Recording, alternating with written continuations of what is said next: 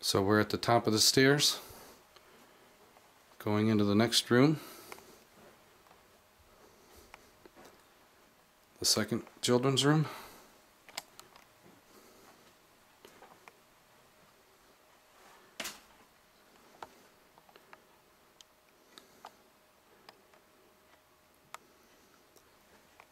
Nicely done, nice boy colors.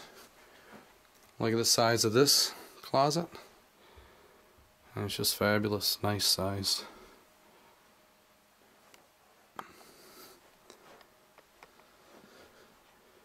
It's a real nice room for kids.